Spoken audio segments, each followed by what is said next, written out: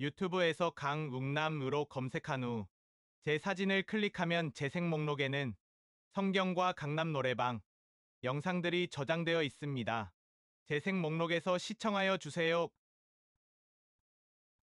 구독 부탁합니다.